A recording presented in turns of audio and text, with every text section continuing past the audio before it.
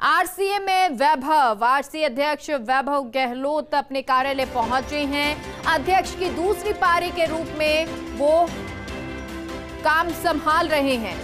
RCA में पूजा, विधान और मंत्रोच्चार के बीच काम संभाला है। आरसीए के नए पदाधिकारियों ने भी काम संभाला है और ये तस्वीर आपको दिखा रहे हैं। विभिन्न जिला संघ के सचिव भी इस दौरान मौजूद हैं। वैभव गहलोत की बेटी काश्विनी भी मौजूद नज़र आ रही हैं। ये तस्वीरें हैं। जब वैभव गहलोत अपने कार्यालय में पहुँचे, वहाँ पर मंत्रोच्चार के साथ विधि विधान से पूरी प्रक्रिया करते हुए, पूजा करते हुए अपना पदभार ग्रहण करने पहुँचे। वैभव गहलोत और मंत्रोच्चार के बीच में उन्होंने अपना काम संभाला है।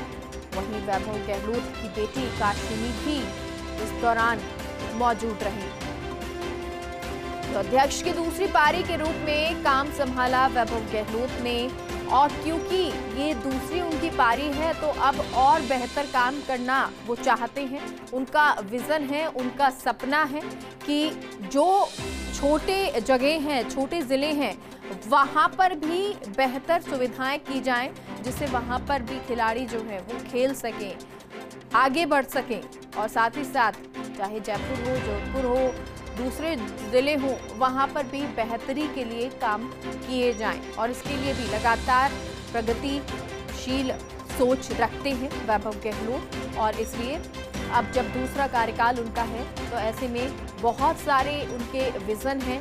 हालाँकि पहले कार्यकाल में ही कुछ चीज़ें वो लेकर चल रहे हैं और उन्हीं टारगेट्स को पूरा करते हुए अब दूसरे कार्यकाल में संभवतः उन्हीं चीज़ों पर उनको आगे बढ़ाया जाएगा प्रोग्रेस किया जाएगा। क्योंकि वैभव गहलोत का सपना है उनको वो पूरा करने की कोशिश भी इस कार्यकाल में करेंगे। हालाँकि कई उपलब्धियाँ जो है आरसीए ने प्राप्त भी की हैं और आगे भी कोशिश यही रहेगी कि अपने कार्यकाल में वो कई उपलब्धियाँ प्राप्त और करें। लेकिन आज का दिन खास क्योंकि अभी तक मलमास चल रहा था और ऐसे में पदभार ग्रहण नहीं किया गया था क्योंकि मलमास में शुभ कार्य नहीं किए जाते हैं। और पदभार ग्रहण करने के लिए पूजा विधि विधान से करनी थी। ऐसे में इंतज़ार किया जा रहा था मलमास खत्म होने का।